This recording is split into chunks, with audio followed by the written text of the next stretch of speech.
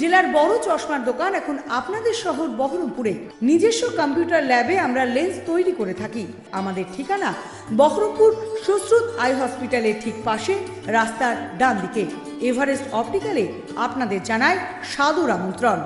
হরিহরপাড়া নিয়ামতপুরে মৃত সিপিআইএম কর্মীর বাড়িতে পরিবারের লোকজনের সঙ্গে দেখা করলেন সিপিআইএমের জেলা সম্পাদক জামির মোল্লা ও সিপিআইএমের প্রাক্তন এমপি রামচন্দ্র ডোম সহ একাধিক সিপিআইএম নেতৃত্ব। উল্লেখ্য, ভোটের দিন তৃণমূল ও সিপিআইএমের সংঘর্ষে আহত হয়েছিলেন সাতজন সিপিআইএম কর্মী। তার মধ্যে রেন্টু শেখ নামে আহত ব্যক্তি কলকাতা এনআরএস হাসপাতালে চিকিৎসাধীন অবস্থায় মারা যান রবিবার। সোমবার তার দেহ গ্রামের বাড়িতে আসবে। মৃতের পরিবারের লোকজনদের সমবেদনা জানাতে তার বাড়িতে আসলেন সিপিআইএমের জেলা সম্পাদক জামির মোল্লা।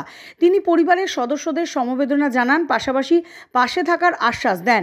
সিপিআইএম কর্মী রেন্টু শেখের নিথর মৃতদেহ বাড়িতে আসার অপেক্ষায় গ্রামের লোকজন বাড়িতে ভিড় জমিয়েছেন।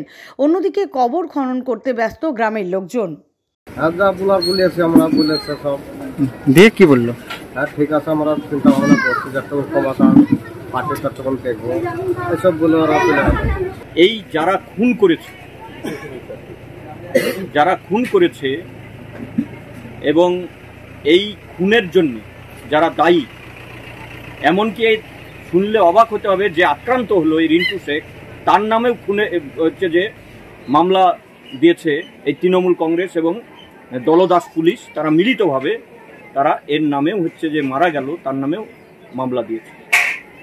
ফলে এই যে অরাজকতা চলছে, এই অরাজকতা, এটা বন্ধ হওয়া দরকার। আর যারা এই রকম এই রিন্টু শেখকে খুন করল, রওশন আলীকে খুন করল এবং এই নির্বাচনে কংগ্রেসেরও চারজন খুন হয়েছে আমাদের মুর্শিদাবাদ জেলায়, এদের কঠোর শাস্তি আমরা দাবি করি। আমরা এই পরিবারের পাশে আমাদের সবাইকে দাঁড়াতে হবে।